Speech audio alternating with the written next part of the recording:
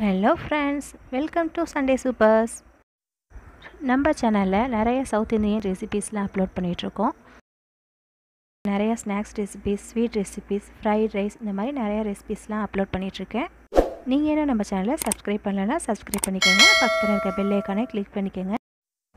இன்றைக்கி நம்ம சேனலில் ஒரு சூப்பரான ஒரு சைடிஷ் ரெசிபி பார்க்கலாம். பீஃப் சுக்கா எப்படி செய்கிறதுன்னு பார்க்கலாம். இது வந்து ரொம்ப ஈஸியாக செஞ்சிடலாம். இன்றைக்கி நான் பீஃப் சுக்கா செய்கிறதுக்காக ஒரு இரநூறு கிராம் பீஃப் எடுத்து நல்லா க்ளீன் பண்ணிவிட்டு வாஷ் பண்ணி எடுத்து வச்சுருக்கேன். இப்போது நம்ம செய்ய ஆரம்பிச்சிடலாம்.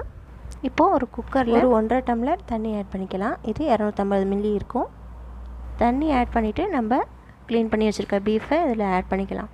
பீஃப் நல்லா பொடியாக கட் பண்ணிக்கோங்க. அப்போ தான் இந்த சுக்காவுக்கு நல்லா டேஸ்டியாக இருக்கும். இப்போது கால் ஸ்பூன் மஞ்சள் தூள் ஆட் பண்ணிக்கலாம். கால் ஸ்பூன் இஞ்சி பூண்டு பேஸ்ட் ஆட் பண்ணிக்கலாம். தேவையான அளவு உப்பு ஆட் பண்ணிக்கலாம்.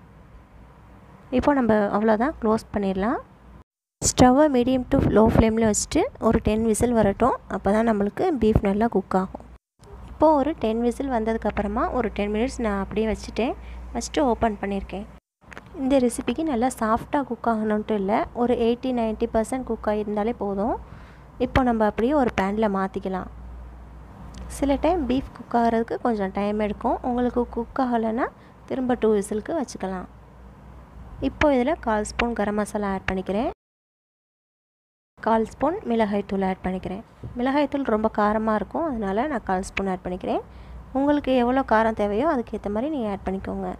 மிளகாய்த்தூள் ஆட் பண்ணதுக்கப்புறமா கால் ஸ்பூன் மல்லித்தூள் ஆட் பண்ணிக்கிறேன். அப்புறம் உப்பு தேவையான அளவு ஆட் பண்ணிக்கலாம். நம்ம பீஃபை குக் பண்ணும்போதே நம்ம உப்பு ஆட் பண்ணியிருக்கோம். அதனால் நீங்கள் செக் பண்ணிவிட்டு ஆட் பண்ணிக்கோங்க. இப்போது ஒரு டென் மினிட்ஸ் நல்லா கொதித்ததுக்கப்புறமா நல்லா ட்ரை ஆயிடுச்சு இப்போது இதில் இருக்க வாட்டர் எல்லாமே நல்லா ட்ரை ஆயிடுச்சு இந்த ஸ்டேஜில் நம்ம கொஞ்சமாக ஆயில் ஆட் பண்ணிக்கலாம்.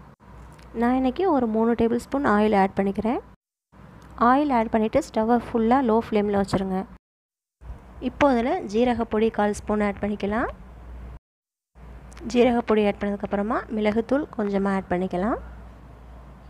ஆட் பண்ணிவிட்டு நல்லா மிக்ஸ் பண்ணி விட்டுறலாம். இப்போ ஒரு ஃபைவ் மினிட்ஸ் அப்படியே இருக்கட்டும். அப்போ தான் நல்லா பீஃப் ஃப்ரை ஆகும் ஆயில்லையே இப்போது ஒரு ஃபைவ் டு டென் மினிட்ஸ் நல்லா ஃப்ரை ஆயிடுச்சு ஆயிலில் லாஸ்ட்டாக நம்ம இதில் கருவேப்பிலை ஆட் பண்ணிக்கலாம்.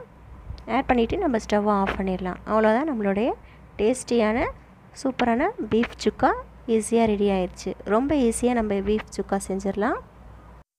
நீங்களும் வீட்டில் கண்டிப்பாக ட்ரை பண்ணி பாருங்கள் ட்ரை பண்ணி பார்த்துட்டு எப்படி இருந்துச்சுன்னு கமெண்டில் சொல்லுங்கள் இந்த ரெசிபி உங்களுக்கு பிடிச்சிருந்துச்சுன்னா லைக் பண்ணி ஷேர் பண்ணுங்கள் நீங்கள் ஃபஸ்ட் டைம் நம்ம சேனலை பார்க்குறீங்கன்னா சண்டே சூப்பர்ஸ்க்கு சப்ஸ்கிரைப் பண்ணிக்கோங்க.